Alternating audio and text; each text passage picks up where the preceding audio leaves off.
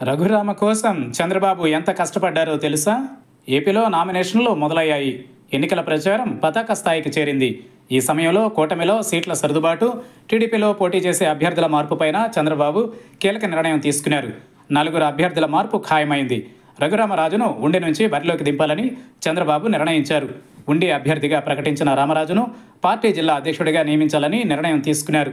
గతంలో ప్రకటించిన వారిలో నలుగురు అసెంబ్లీ అభ్యర్థులను తెలుగుదేశం పార్టీ మార్చింది. నరసాపురం సిట్టింగ్ ఎంపీ కనుమూరి రఘురామకృష్ణంరాజు అదే జిల్లా పరిధిలోని ఉండి అసెంబ్లీ స్థానం నుంచి టీడీపీ అభ్యర్థిగా పోటీ చేయనున్నారు. అక్కడ టీడీపీ తమ అభ్యర్థిగా సిట్టింగ్ ఎమ్మెల్యే మంతెన రామరాజును ఇదివరకే ప్రకటించింది.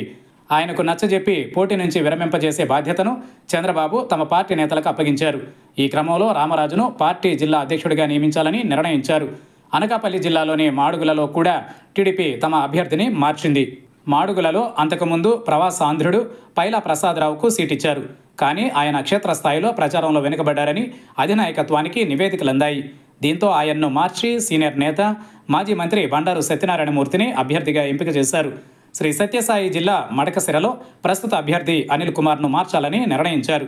ఆయన అభ్యర్థిత్వాన్ని మాజీ ఎమ్మెల్సీ తిప్పేస్వామి వర్గం గట్టిగా వ్యతిరేకిస్తోంది. ఈ సీటును పార్టీ దళిత విభాగం రాష్ట్ర అధ్యక్షుడు ఎంఎస్ రాజుకు ఇవ్వనున్నారు. అన్నమయ్య జిల్లా తంబళ్ళపల్లె అభ్యర్థి జయచంద్రారెడ్డిని కూడా మార్చబోతున్నారు. జయచంద్రారెడ్డి ప్రచార రంగంలో వెనుకబడిపోయారు. పైగా ప్రత్యర్థి శిబిరంతో ఆయనకు వ్యాపార సంబంధాలున్నాయన్న ప్రచారం విస్తృతంగా జరిగింది. దీంతో అభ్యర్థిని మార్చాలని నిర్ణయం తీసుకున్నారు. ఏలూరు జిల్లా దెందులూరు అసెంబ్లీ స్థానంపై ఉత్కంఠ నెలకొంది.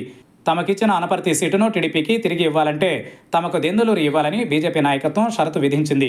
ఇంకో మూడు నాలుగు స్థానాలలో మార్పులు చేయాలని టీడీపీ నాయకత్వం యోచిస్తోంది కడప జిల్లా కమలాపురం తిరుపతి జిల్లా వెంకటగిరిలో పార్టీ ఇన్ఛార్జీలకు బదులు వారి పిల్లలకు టికెట్లు ఇచ్చారు.